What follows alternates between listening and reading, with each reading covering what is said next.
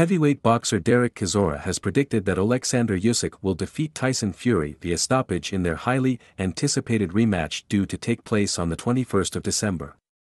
The pair's first head-to-head -head battle took place in May earlier this year, where Usyk claimed victory over the Gypsy King via split decision to become the first undisputed heavyweight champion of the world in 25 years. Chisora, aged 40, has fought both Usyk, aged 37, and Fury, aged 36, and despite losing to both men on every occasion they entered the ring. This arguably gives him good grounds to predict the fight's outcome. I don't think Tyson was 100%, Chisora told TalkSport. He had a massive cut. He didn't spar the way he wanted to spar, and he was under-prepared. He was mucking around for the first four or five rounds because his confidence was not there.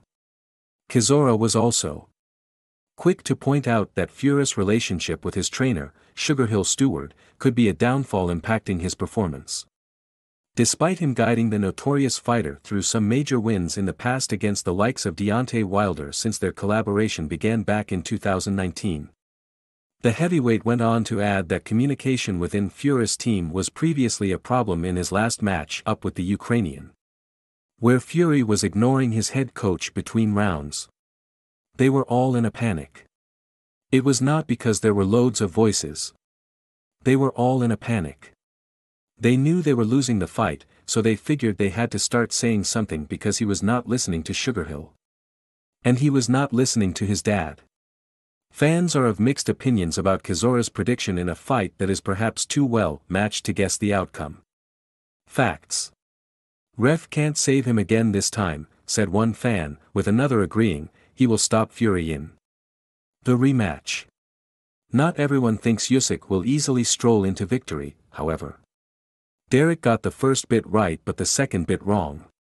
Fury will beat Usyk in part 2, one fan voiced.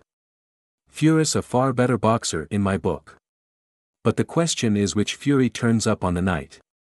His head can tend to be all over the place, said another.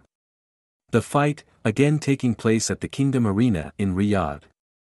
Saudi Arabia, will be eagerly watched by boxing fans across the globe hoping to see whether Fury will avenge his only ever professional career defeat or plummet to a second.